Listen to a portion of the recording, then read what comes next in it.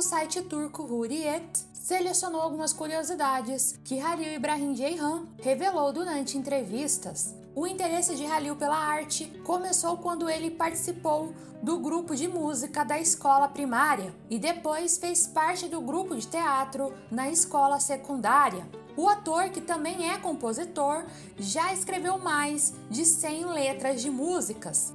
Dúvida que a imprensa turca tinha era se Halil tinha feito cirurgia plástica no nariz. Segundo o ator, ele nunca fez nenhum procedimento estético. Halil na infância tinha o sonho de abrir uma fábrica de brinquedos. O ator tem grande interesse por relógios, tanto que tem uma coleção deles. A data de nascimento de Halil foi um grande mistério por um tempo e também gerou bastante confusão. Segundo alguns sites turcos, o ator nasceu em 1986, mas no link disponível no Instagram de Halil do site IMDb, a data de nascimento registrada é do dia 13 de dezembro de 1982. Isso significa que o ator vai completar 40 anos este ano. Halil é do signo de Sagitário e os homens desse signo são sonhadores, aventureiros e bem-humorados. Outra confusão recorrente é com o local de nascimento de Halil. Em alguns sites dizem que ele nasceu em Istambul, mas na realidade o ator nasceu em Sivas,